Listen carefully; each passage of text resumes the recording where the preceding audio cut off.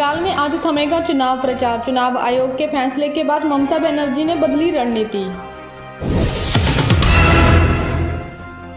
चुनाव आयोग का ट्विटर को आदेश, एग्जिस्ट पोल से जुड़े ट्वीट हटाए जाएँ। चुनाव आयोग की कार्रवाई पर भड़की सीएम ममता बनर्जी, पक्षपात का आरोप लगाया। बंगाल में प्रचार पर रोक कांग्रेस ने बताया, लोकतंत्र के इतिहास का काला दिन। तो टीएमसी बोली, ईसी ने पीएम मोदी को दिया तोहफा। पुलवामा में सुरक्षा बलों ने तीन आतंकियों को मार गिराया, एक जवान हुए शहीद। पाकिस्तान में आतंकी हफीज सईद का साला अब्दुल रहमान मक्की हुए गिरफ़्तार।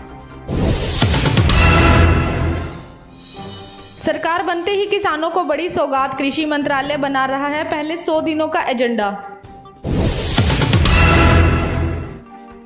बंगाल में हिंसा के बाद ममता बनर्जी बीजेपी में शुरू हुई जुबानी जंग।